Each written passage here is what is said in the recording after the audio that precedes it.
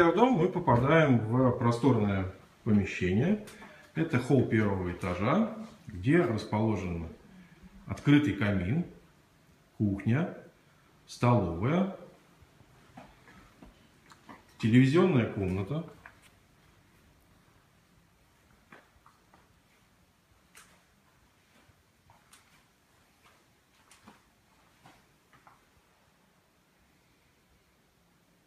Со всех помещений открываются потрясающие виды на море.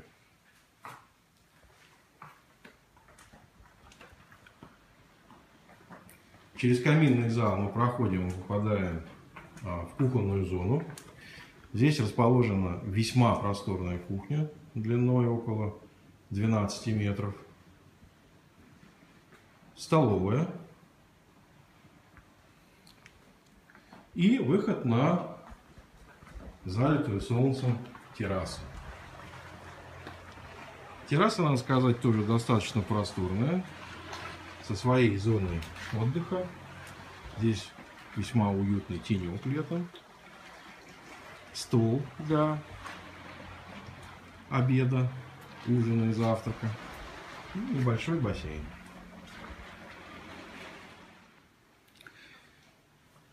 Из каминного зала на второй этаж ведет винтовая лестница. Достаточно просторная и удобная для того, чтобы по ней подняться.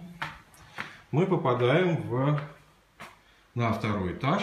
Э, и из холла второго этажа э, мы видим три входа в спальню.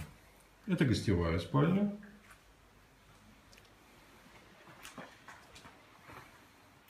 Это хозяйская спальня со своим выходом на огромную террасу. Сейчас мы вам его покажем. Терраса около 30 метров. При хозяйской спальне есть санузел свой собственный, который выложен травертином. И в нем установлена мебель, которая не боится воды.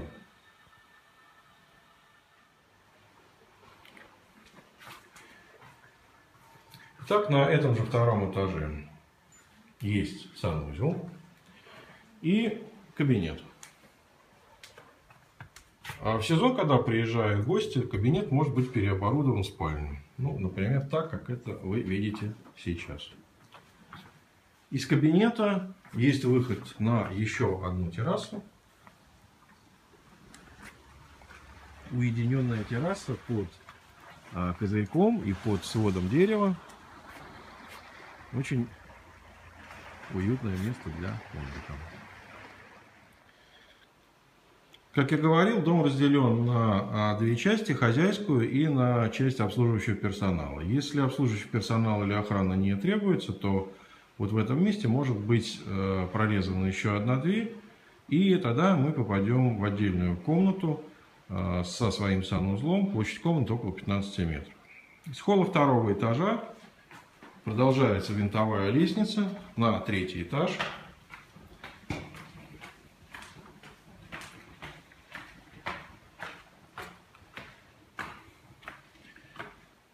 Мы попадаем в единое помещение – В настоящий момент времени оно используется для отдыха. Здесь стоит 12-футовый а, бильярдный стол. Здесь находится большая терраса для отдыха с потрясающими видами, открывающимися на Адриатику. Надо заметить, что э, выходы э, на береговую черту свои. Вот два выхода, они вот обозначены такими дорожками, сделанными из камня. На террасе есть все необходимое для отдыха. В том числе есть э, тенистый козырек, под который можно спрятаться в случае необходимости. Выглядит он вот таким образом.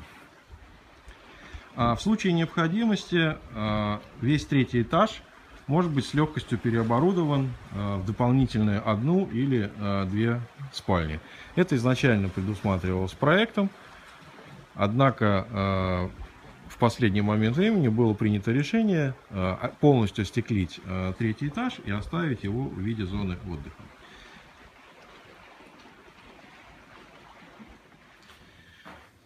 Сейчас мы вошли в апартамент, который отведен для охраны и обслуживающего персонала, он выглядит вот а, таким образом. Имеется своя кухня при апартаменте и вход в санузел.